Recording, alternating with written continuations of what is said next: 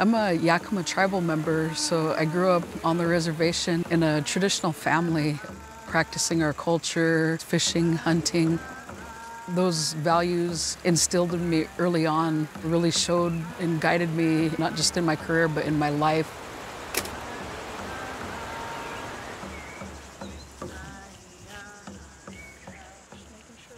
My name is Donella Miller. I'm the Fisheries Science Manager at the Columbia River Intertribal Fish Commission.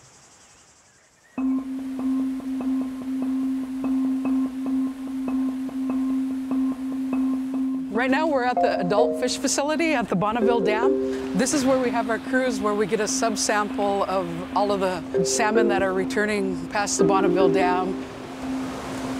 Hey, good morning. Hey, good morning. Hey, everyone. Travis. The first thing I do is just kind of look it over for any injuries or anything from... Part of the sampling process is um, we take a hole punch of a piece of their fin, and what that provides is a genetic sample that we can utilize. And then next we grab uh, scale samples for aging purposes. The analysis that taking these samples provides helps us identify stocks and run timing so that it can inform harvest management to ensure that we're not overtaking potentially ESA listed stocks. And all of this can be done in real time. Looks good, nice and healthy. We'll send him on his way. Bye bye, fish. I'll see you in the Yakima. Yeah, see you in the Yakima, all right. We just collected these samples at Bonneville Dam, so um, we're just delivering them to, to, our mobile genetics lab here. Hey, lady. Hey, Donella.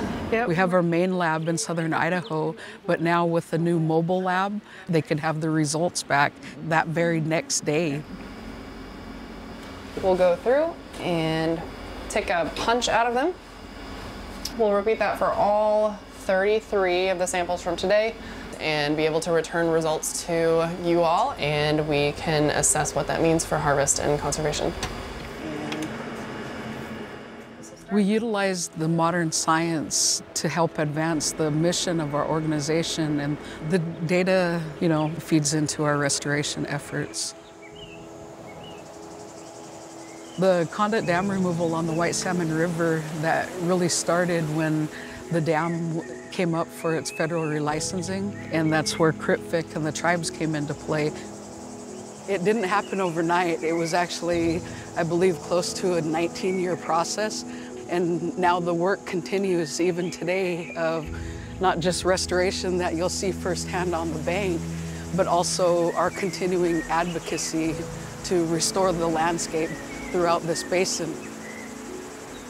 This is TEK, taking the, the knowledge of our ancestors who have inhabited these lands for thousands of years. They know what belongs here and where it belongs and what the purpose of that was.